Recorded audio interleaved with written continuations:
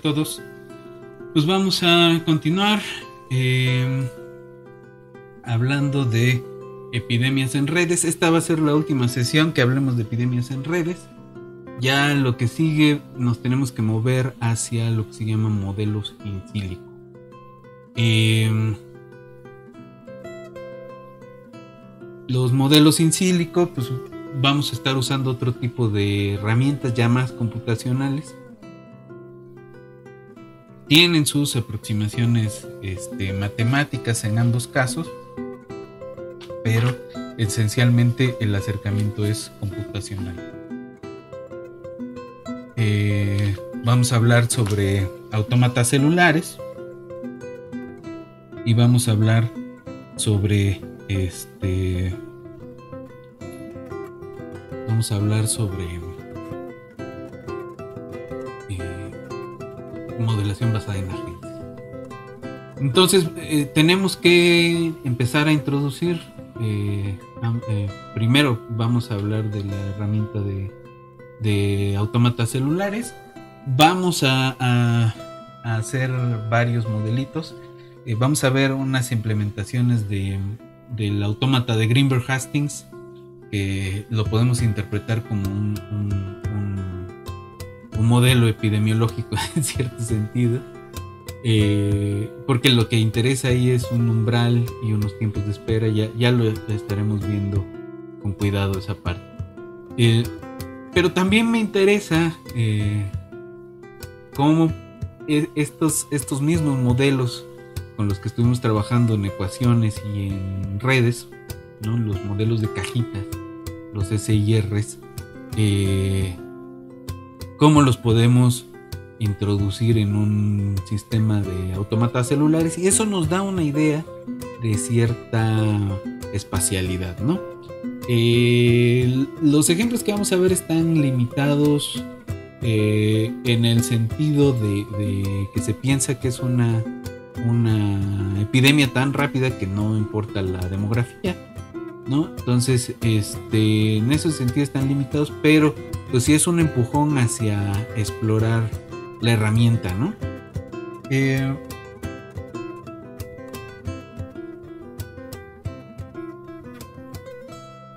entonces, pues bueno, tenemos esa, vamos a tener esa herramienta y una vez desarrollada la herramienta vamos a, a seguirnos hacia Modelación basada en agentes, igual vamos a ver un poco de eh, algunos elementos esenciales de, modelación basada en agentes, algunas aproximaciones teóricas hacia modelación basada en agentes, no con demasiada profundidad, pero sí este, al menos visitar y señalar dónde se pueden ir consultando esas cosas. Eh, esa es una aproximación muchísimo más joven que las los autómatas celulares eh, y que tiene muchísimo más reticencia en el medio, ¿no? Eh, a veces, eh, y eso ya lo discutiremos en su momento, hay, hay muchas malas interpretaciones y interpretaciones sesgadas respecto a esto, pero bueno, vamos a visitarlo. vamos a ver algunos ejemplos este, sencillos y clasicones de, de cosas que se pueden modelar allí y nos vamos hacia epidemia. Eh, entonces la primera epidemia que vamos a modelar con agentes va a ser eh, una situación de zombies, le llamamos. Eh, y luego nos vamos a ir hacia cosas más interesantes. una vez visitadas estas dos herramientas, pues hablaremos un poco de cáncer y hablaremos un poco del COVID. ¿no? Este, no sé si nos va a dar tiempo de hablar algo más, pero eso es lo que, lo que tenemos planeado hasta ahorita. Pues el día de hoy vamos a revisar ya lo último de redes. Vamos a ver, eh, vimos eh, hace un par de sesiones el, el, vimos hace un par de sesiones eh, cómo es el tamaño de la de la percolación que debemos, ¿no? ¿Cuál es el, rango de percolación que, tenemos que imponer dependiendo de la distribución de grados, ¿no?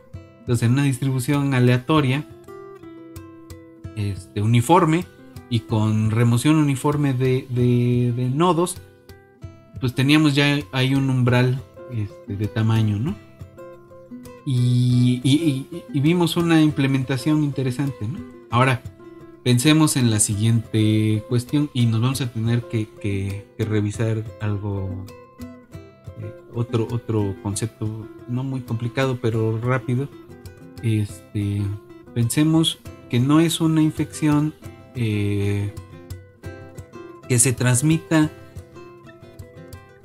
entre cualquier persona con la que tienes contacto, ¿no? Sino que es un tipo de contacto particular eh, y que además estamos pensando en, poblaciones que podemos separar claramente.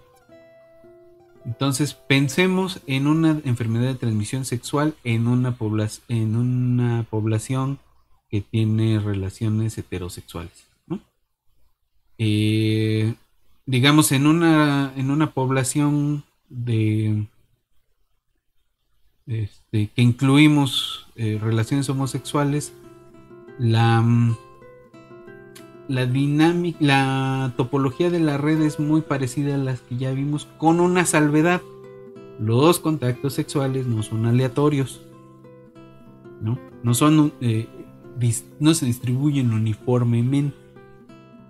Eh, de hecho, pues este el contacto sexual sigue al menos eh, aproximadamente una ley de potencias, ¿no? Hay algunos individuos que tienen muchos contactos y muchos individuos que tienen pocos contactos, tanto en volumen como en frecuencia, ¿no? Entonces, eh, se antoja que la topología más cercana a cómo se hace una relación sexual de, pareja en general, pues es este, una topología de tipo Barabasi, Una, una, de, una red libre de escala. Esto va a implicar un problema para el asunto de la, de la percolación como metodología general de control. Porque resulta que por más que percoles y percoles una red de Barabasi, no hay forma de detener la difusión de la epidemia, Ahora, si pensamos que la mayoría de los grupos humanos, digo, eh, ahí habría que pensarle un rato. Pero si resultara que las relaciones humanas son todas eh, una, cosa como de, de, adjunción preferencial, estaríamos en un lío, ¿no? Porque no hay control suficientemente este, duro como para romper los contagios, que parece ser que es lo que está pasando. Pero bueno, vamos un rato al pizarrón y regresamos a ver eh, al final de la sesión algo en la computadora y con eso terminaríamos con redes. Quizás esta sesión sea un poquito más corta, pero me preocupa demasiado porque ya cubrimos bastante material. Entonces, vámonos un rato al pizarrón.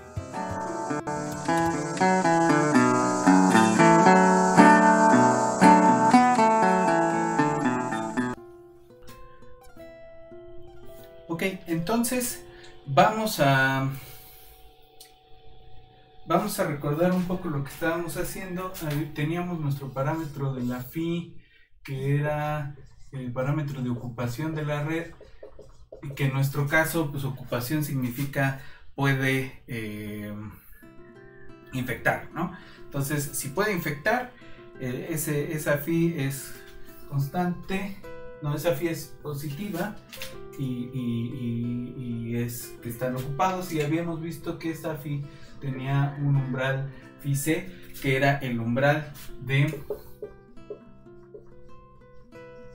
de de este percolación, ¿no? Y que definía un mínimo, en nuestro caso, ¿no? Define un mínimo de, de nodos o de aristas que hay que remover de tal forma que se eh, deje de esparcir la enfermedad. En el caso de una enfermedad o un rumor o lo que sea que esté fluyendo en el sistema. Eh, ahora, vimos para una, una que, ah bueno, y esta FICE eh, calculamos también que tenía que tener esta forma. Eh, y vimos que para una Poisson la FICE pues no era más que uno sobre C. ¿Y que esta nos interesaba? Porque muchos modelos en la literatura utilizaban la distribución de Poisson para, para los, para los este, grados de los nodos, ¿no? la distribución de grados de los nodos. Ahora, ¿qué pasa si la distribución de grados de los nodos tiene una forma distinta? Digamos, pk igual a 1 menos a por a la k, ¿no? es una distribución exponencial eh, o, geométrica, ¿no? Dependiendo de la K. Eh, y aquí lo que vamos a pensar es que A es menor que 1, ¿no? Y en este caso la G0 de Z pues es 1 menos A sobre 1 menos A por Z y la G1 de Z es 1 menos A al cuadrado sobre 1 menos A por Z. Eh, la phi va a venir dada como solución de la siguiente ecuación, ¿no?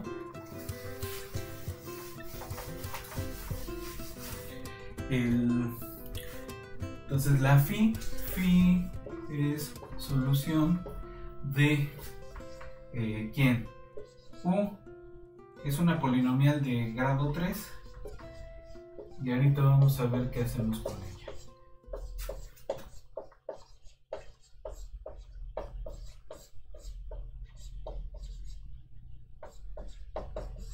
tenemos esa polinomial de grado 3 en U, pero eh, podemos convertirla en otra cosa. Pensando en lo siguiente, U igual a 1 siempre es una solución, siempre es una de las raíces, porque esto es un, ejercicio de probabilidad. Entonces, podemos eh, pensar en eh, reacomodar esto, en factorizar esto por algo que esté multiplicando a u menos 1, ¿no? Porque 1 siempre tiene que ser una solución. Así que esto, si lo multiplicamos por a cuadrada o cuadrada más a por a phi menos 2, eh, más phi menos 2a por phi más 1 igual a 0 este, pues tenemos, ese es el mismo polinomio, ¿no? Ya sabemos que esta es una raíz, entonces nomás nos preocupa eh, encontrar las raíces de este polinomio de grado 2.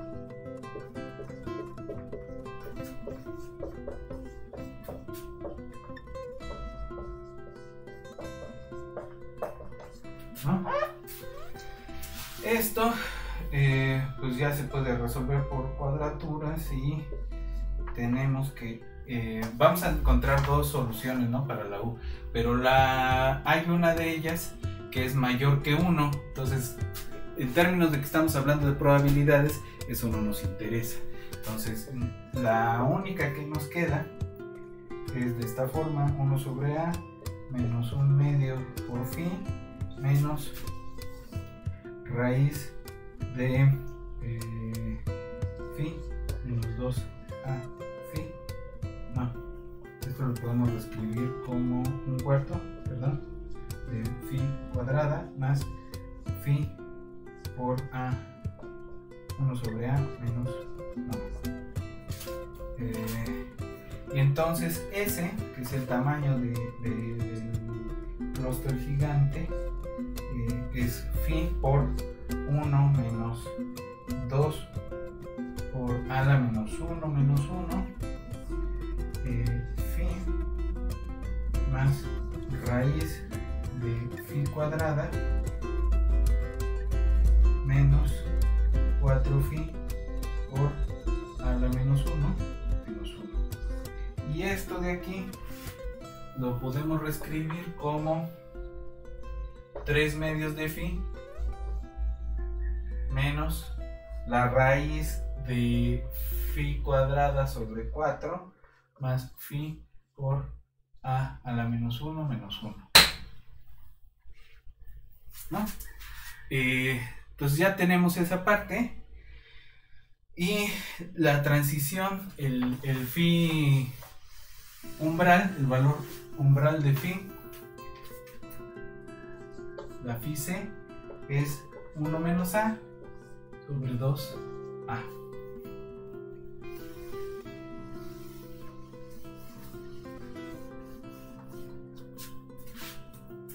Eh, entonces ese es el umbral para esa otra este, distribución. ¿no? Eh, ¿Qué nos dice esto del tamaño del brote y la percolación? ¿no?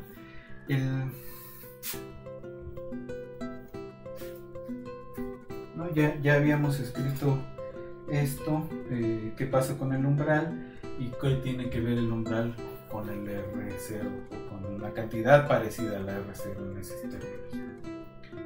Ahora, imaginémonos, este, eh, bueno, eh, en general, ¿no? La, la FI, la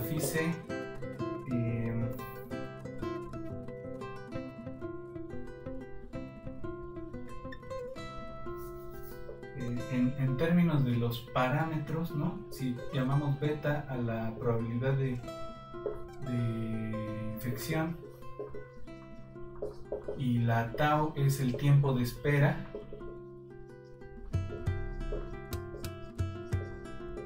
¿no? En el sentido de que es la duración de la infección, entonces eh, esa, creo que esto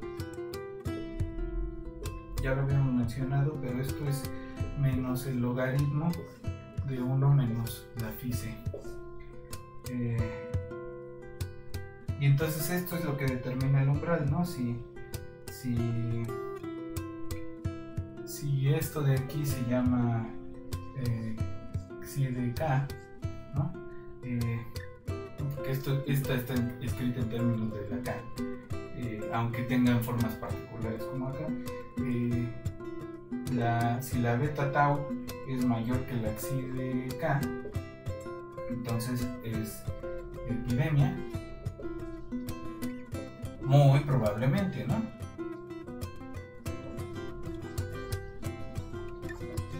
Y si la beta tau es menor que esa xi de k, que es como el R0, ¿no? Entonces no, no puede haber brote.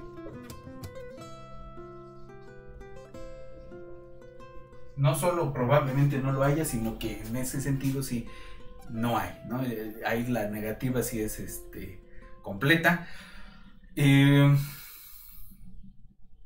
bueno, eh, entonces eso es, lo que tiene que ver ese, em, eso con la con la con la epidemia, con la duración de la epidemia la severidad de la epidemia o si hay incluso una epidemia. ¿no?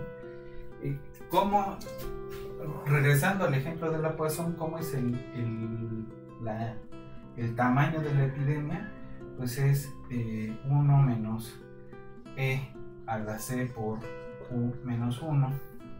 Esto de aquí eh, lo podemos reescribir como 1 menos E a la menos phi C por ese, ¿no? Entonces esta FICE también nos dice de qué tamaño es la población este, infectada, ¿no? Que tiene que ver pues con el tamaño del clúster eh, gigante mínimo que hay que desconectar. Ok. Entonces la FI también la podemos pensar entonces como una probabilidad de transmisión y la FICE como un umbral este, de, vacunación si existiese la vacunación, ¿no? o, el umbral tras el cual se alcanza la inmunidad de rebaño. Ahora, pensemos en, otro caso. Esto, eh, hasta aquí hemos estado pensando en una epidemia que se transmite directamente de individuo a individuo. Ahora pensemos eh, que se transmite entre grupos de individuos, es decir, solo se transmite entre individuos de cierto tipo y otro tipo. Eh, pensemos en una infección de transmisión sexual. Y eso nos debe llevar hablar sobre eh, redes de contacto sexuales.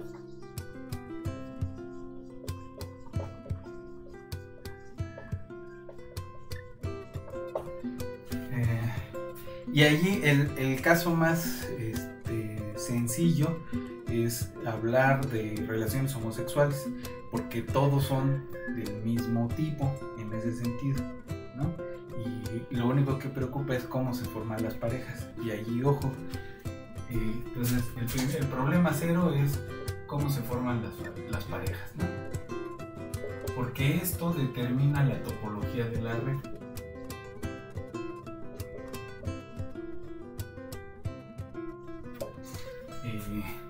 cómo se forman las parejas. En, yo he leído varios acercamientos que dicen, pues, eh, escógete un nodo al azar y reconéctalo con alguien, ¿no? Entonces, eh, o sea, un, mecanismo de Erdős Range. Pero las personas no eligen parejas al azar. Este, y habría que pensar también cómo se distribuye la densidad de parejas que tiene un individuo, ¿no? Es decir, eh, cómo modelamos los, este, los promiscuos en una red de contactos sexuales. No todos son igual de promiscuos y la promiscuidad no se distribuye uniformemente, al menos no de forma general. Este, y entonces se pueden modelar distintos tipos de relación. Eh, pero en general podemos pensar que el mecanismo de formar una pareja sexual se parece al, al de Barabasi, ¿no? al, al, preferential attachment. Entonces, si eh, las parejas se forman con una adjunción preferencial,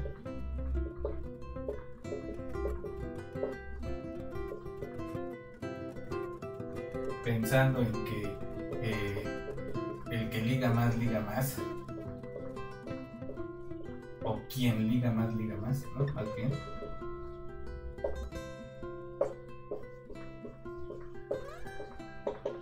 Hay una, una, una, una propiedad de los nodos, de los individuos que eh, tiene que ver con su, con su grado.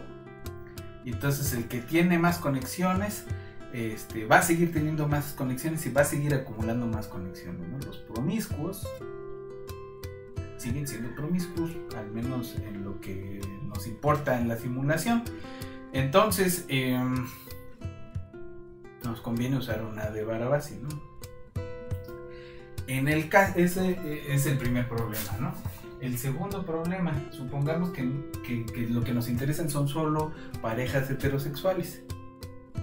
¿Por qué nos podría interesar las parejas heterosexuales? Piensen ustedes en el El virus del papiloma humano, eh, y lo, clínicamente lo que más nos interesa por el tamaño del problema es la transmisión de hombre a mujer, eh, porque la transmisión de VPH a las mujeres produce cáncer este, cervicouterino y es un problema grave de salud pública. Y es más grave porque las soluciones siempre son eh, pues que las mujeres se, hagan el estudio del Papa Nicolau seguido, ¿no? Como si los hombres no tuviéramos responsabilidad en la transmisión de la enfermedad, siendo el principal reservorio de el patógeno, ¿no? Entonces, son los hombres los que transmiten la enfermedad a las mujeres. Nosotros somos portadores generalmente. Hay eh, casos crecientes de, cáncer en el pene y en el ano que ya nos hablan de, la gran proporción de este, infecciones con, cepas este, con ciertas características de las cuales hablaremos cuando hablemos sobre cáncer. Eh, pero entonces la, estructura de la red tiene que distinguir un grupo y otro. Lo mismo pasaría con una enfermedad. En ese caso los hombros, somos, los hombros somos vectores de, la enfermedad. Eh, lo mismo pasaría con el dengue, ¿no? Tenemos una población de personas, una población de, insectos y el patógeno que se está transmitiendo entre insectos y de insectos a personas. Si hablamos de chikungunya, es más interesante porque se transmite entre personas y entre insectos y de insecto a persona. Entonces la zoonosis es, un, problema que tenemos también que abordar eh, y eso se aborda con otro tipo de, de, estructura, ¿no? de, red. Eh, entonces, eh, separación de reservorios, digamos. Parejas heterosexuales.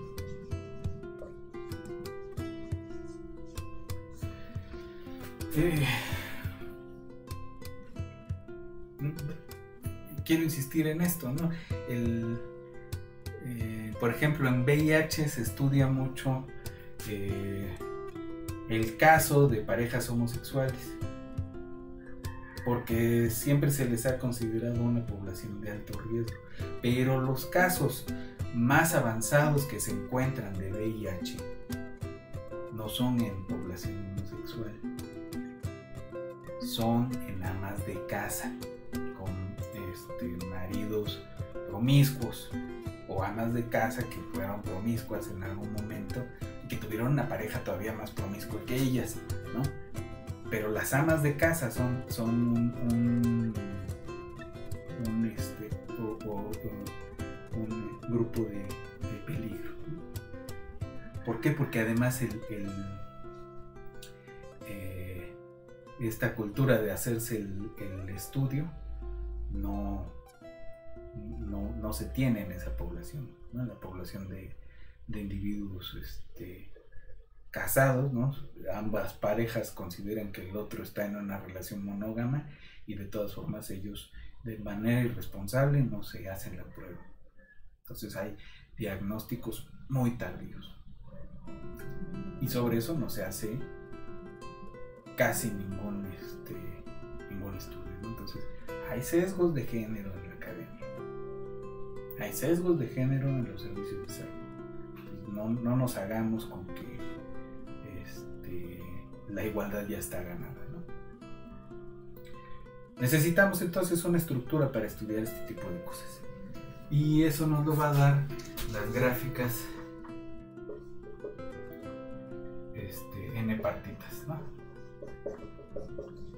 Entonces pensemos qué cosa es una... Eh, que esto implica una partición del conjunto de nodos o n particiones el conjunto de nodos, donde una partición no es otra cosa más que la separación eh, de nodos en conjuntos no este,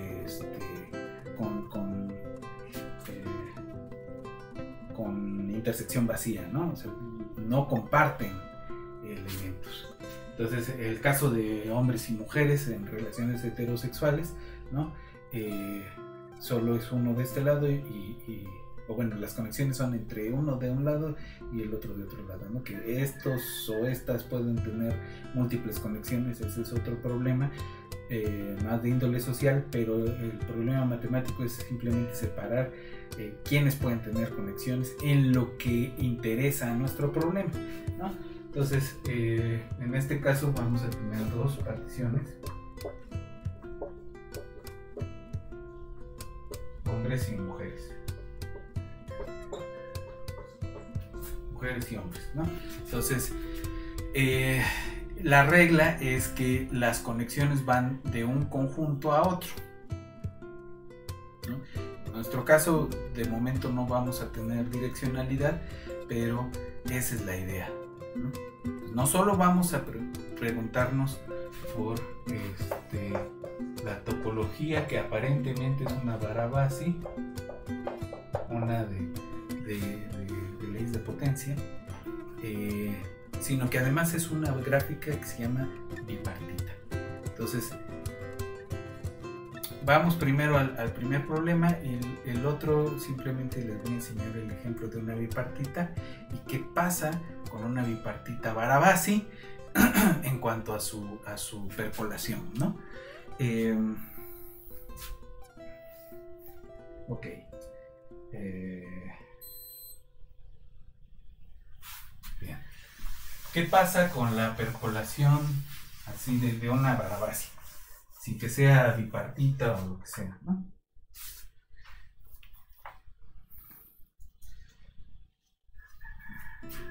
Entonces,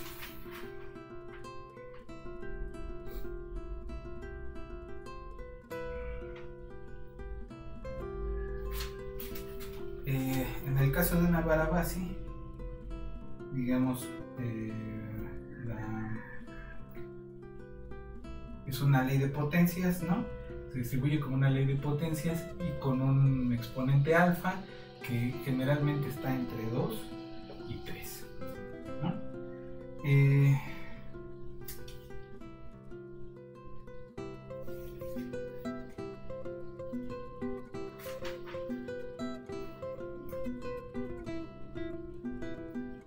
entonces nos interesa cómo es la G1 de U en este caso. Eh, y la G1 de U va a venir dada en una barra así, cerca de U igual a 1, como 1 menos G1 de U igual a C por 1 menos U a la beta. Esa beta, ¿quién es? Eh, la C y la beta son eh, mayores que 0, la beta es menor que 1 eh, y lo que tenemos en este caso es que el gradiente de G1 de U en U igual a 1 es infinito. Entonces U 1 menos U igual a C phi a la 1 sobre 1 menos beta. También podemos pues aproximar la G0 de U en su desarrollo de Taylor, ¿no? Entonces esto es aproximadamente la G0 en 1 más la G1 eh, prima 1 U menos 1 y esto es aproximadamente 1 más K menos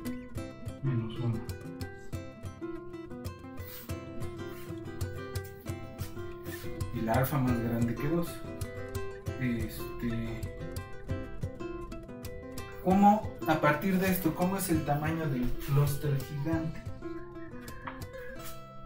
Es decir, ya una vez percolado, ¿de qué tamaño va quedando el componente más grande? Componente conexo. Esto es como la fin de un por 1 menos G0 de 1. Y esto, con esta aproximación de arriba, es phi de K, phi por K por 1 menos U. Y esto aproximadamente es phi a la 1 menos, a la 2, perdón, menos beta sobre 1 menos beta. Que se aproxima eso más rápido a cero que una, una lineal. ¿no? Eh, y esto es porque si beta es más chico que 1, entonces esto, ¿cómo es? En el límite. ¿no? Se va rapidísimo. ¿no?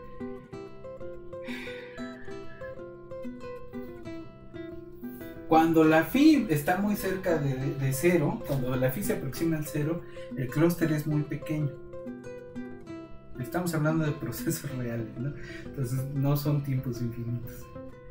Eh, ¿Qué quiere decir esto? Que la infección es persistente. ¿Por qué a la gente de epidemiología no le gusta usar redes de tipo Guarabasi? Porque no hay posibilidad de proponer un control la, existencia persistente de un clúster gigante nos indica que no hay cómo cortar la infección con el método de percolación. Hay que hacer otra cosa. Entonces no podemos dar una respuesta cuando la estructura de la red es una base. Una respuesta en cuanto a control, ¿no? podemos proponer medidas que, vayan atenuando hasta que encuentre algún algún este, algún comportamiento asintótico, ¿no? Pero nada más. Y acabamos de argumentar por qué la Barabasi tendría que ser cercano a, lo que, a lo que vemos en una red de contactos sexuales.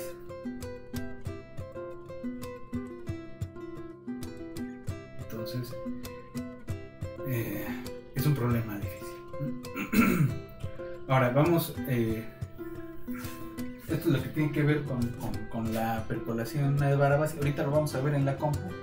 Vamos a ver primero cómo, cómo podemos dibujar redes bipartitas.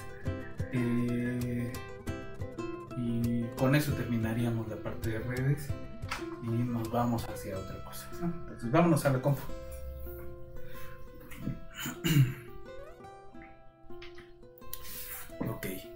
Vamos a, abrir el ejemplo de este, los ejemplos de eh,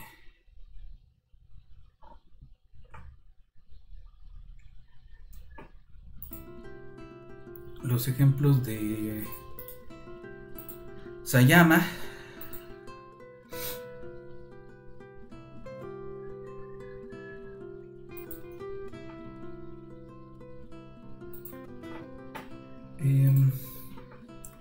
aquí está lo que hicimos la última vez de sobre hipercolación. Em,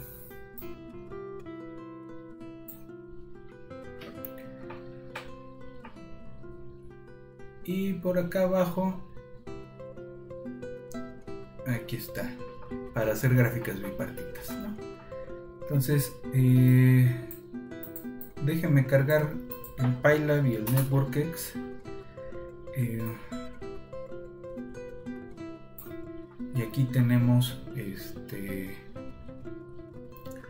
una bipartita eh, cómo la construimos. En NetworkX hay una, una, sub, eh, una subbiblioteca que se llama eh, Bipartite, que está en, dentro de otra subbiblioteca que se llama eh, Algorithms.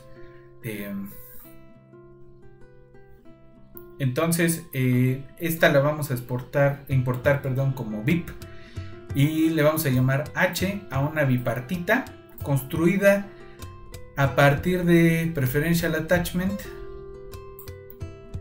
Y allí lo que tenemos que hacer es eh, tomar la lista de nodos en este caso le estoy pidiendo que agarre una lista de 10 elementos y que la probabilidad de, conexión sea 0.4.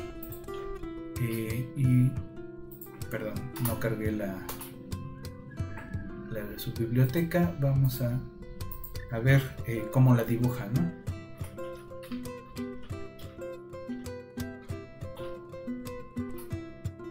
Entonces, eh, aquí hay un nodo aislado, ¿no? Y, realmente aquí no se ve gran cosa de cómo está acomodada, ¿no? Eh, incluso el NetWolf, este, no nos, no nos lo separa fácilmente, ¿no? Entonces, vamos a ver visual. NetWolf, perdón. Net punto visualize h y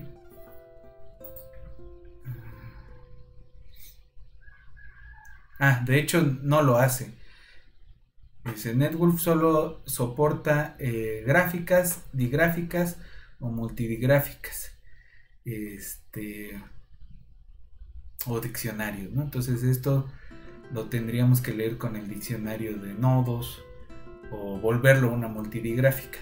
Otra opción es usemos el Gephi que ya estuvimos jugando la otra vez. Eh, entonces podemos abrir Gephi.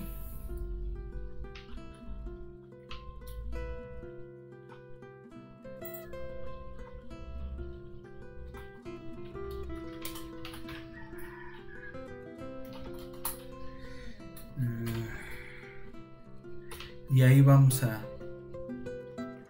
abrir nuestro nuestra gráfica este bipartita ¿no?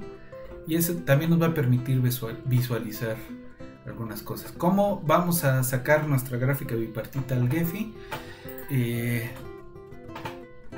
tenemos que escribir un GML ¿no? que es la forma en que podemos comunicarnos con, las cosas que lee Gephi. Entonces, este es el. La, instrucción es write GML. Hay que ponerle eh, la gráfica que queremos que escriba y aquí el nombre que queremos que tenga. ¿no? Yo le estoy poniendo prueba bipartita. Eh, y ahora vamos a ver el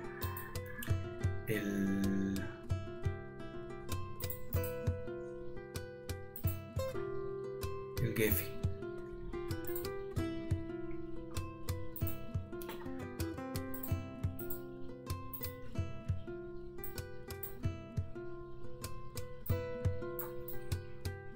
Entonces, aquí ya abrí Gephi y lo que voy a hacer es abrir mi archivo de la prueba bipartita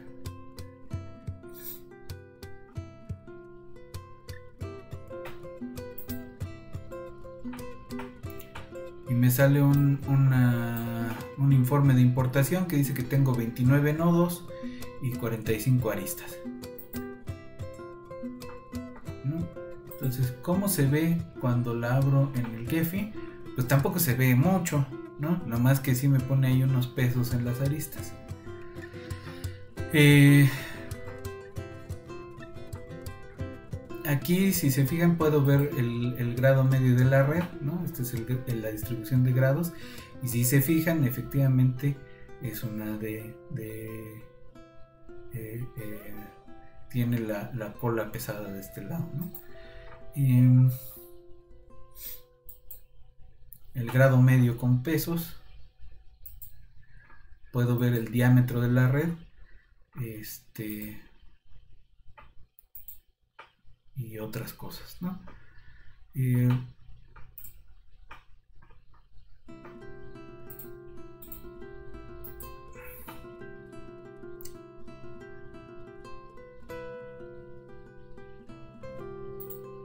aquí, ahora sí ya se ve. Eh, no, todavía no. Ahora sí. Entonces aquí, de este lado derecho, se puede ver el varias métricas de la red, la modularidad, la densidad del grafo, eh, cuántos componentes conexos, ¿no? Tiene dos componentes conexos. Este, el coeficiente de clustering. Es que se lo pedí para una con direcciones y yo quiero una.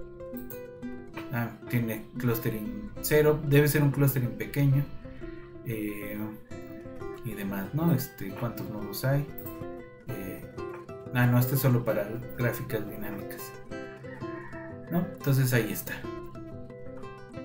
Eh,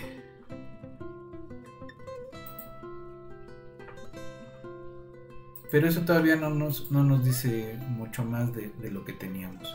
Aquí estoy en otra pestañita de, de. Eh, en donde aquí tenemos una vista general y una previsualización. Y en la previsualización podemos modificar varias cosas.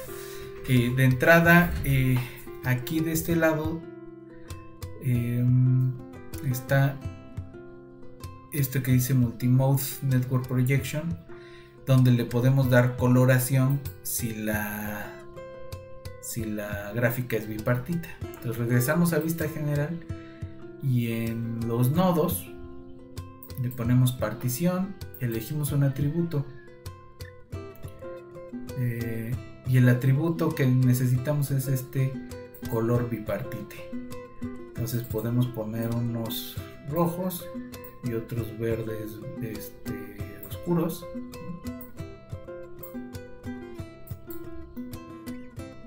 Y las aristas las dibujamos de color eh, gris o algo muy oscuro, un azul oscuro. Eh,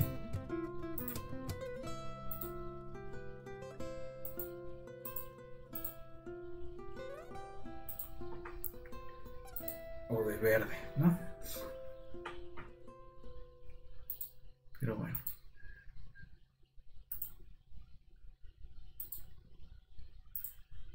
las ponemos todas cafezosas o lo que sea.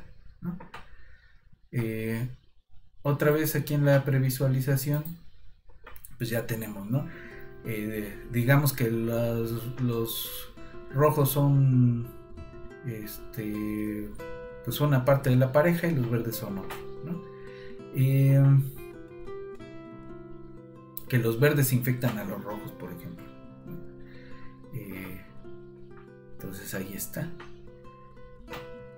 es una forma de dibujar. Eh, también podemos reacomodarlo aquí en distribución. Eh, hay formas de. A mí de Fruiterman Rheingold. Este.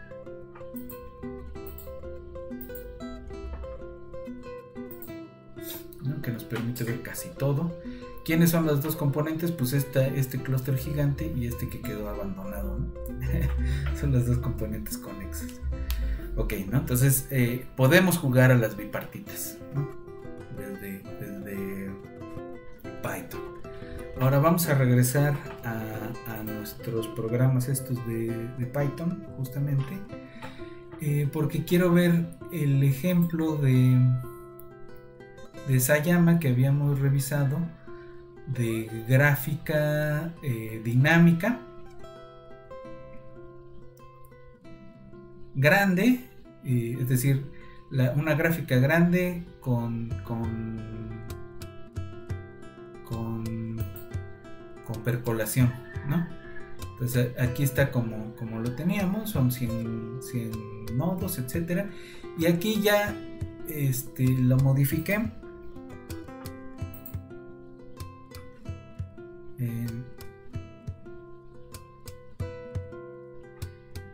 en vez de una R2 Range, le estoy pidiendo que la red sea una de las que están alojadas en bipartite. ¿no? Entonces, eh, bipartite está en algorithms, punto bipartite, punto preferential attachment graph y eh, de qué tamaño va a ser la red, pues del tamaño de la población pero lo que tenemos que dar ahí es una, una, este, una lista.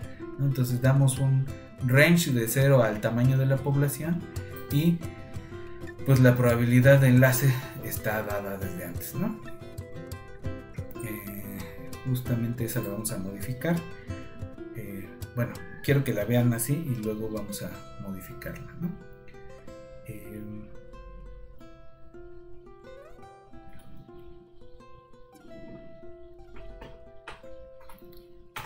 entonces quiero correr ese programa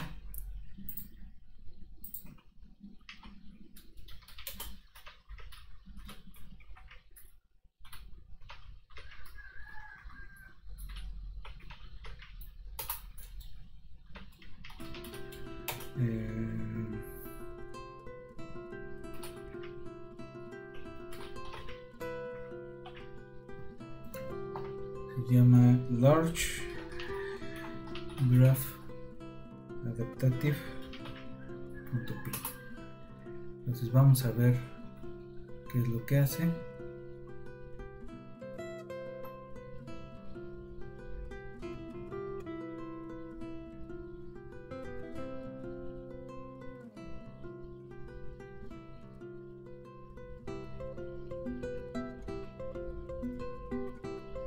Ahí está.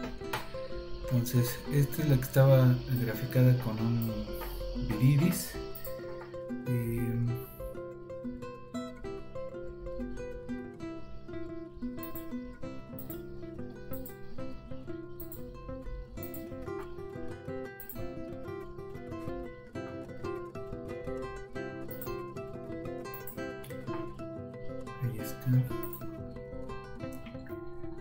Ahí, está la, ventana de la, de la simulación.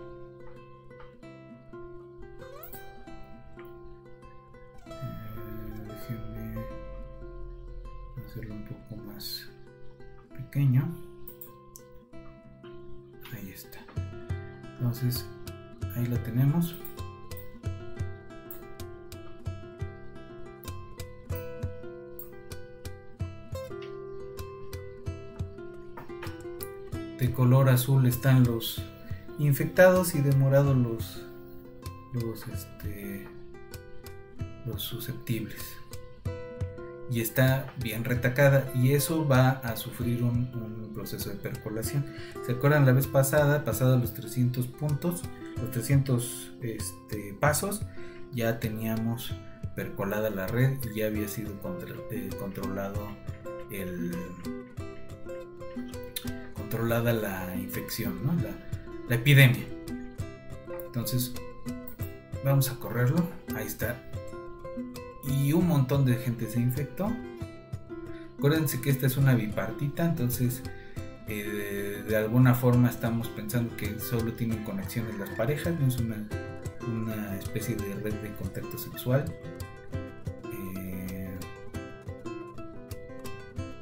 Es muy alta la, probabilidad de conexión, ¿no? Entonces, pues hay que modularlo. Y empiezan a, bajar el número de, aristas. cuando lleguemos a 300, se va a seguir viendo esencialmente el mismo comportamiento, ¿no?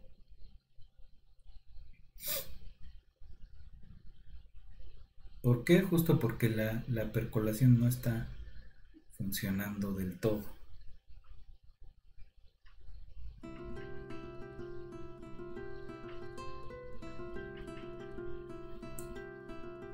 Ya vamos en 150 y sigue habiendo un montón de infectados, ya se ven menos conexiones. O reconexiones.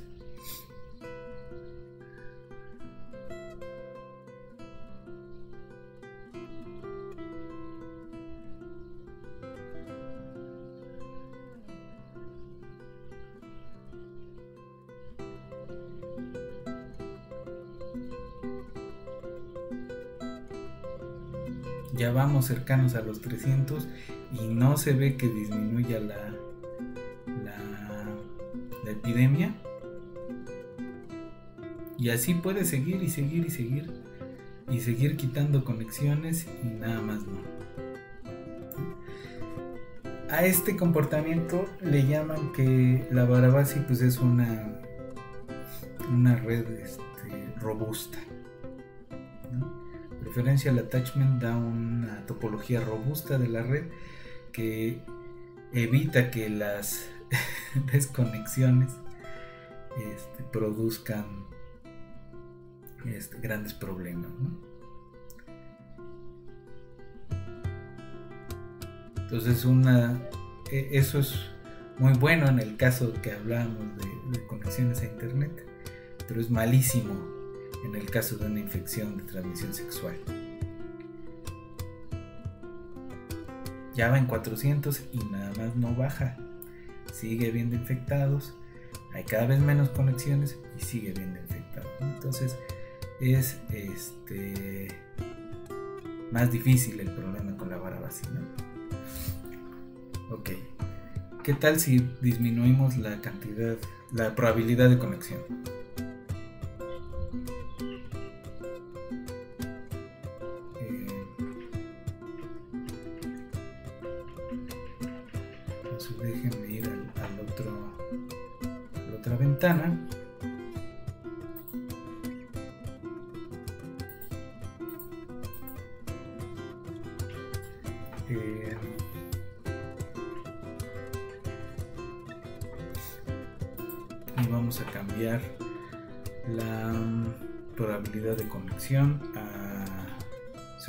0.01 y volvemos a correr el programa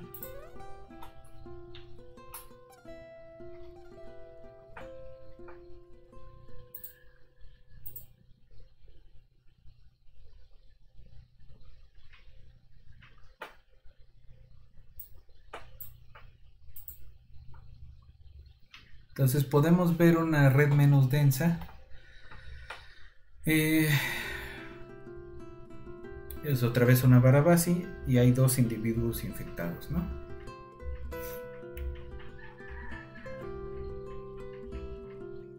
Entonces vamos a correrlo y con eso terminamos el día de hoy. Entonces empiezan a removerse conexiones.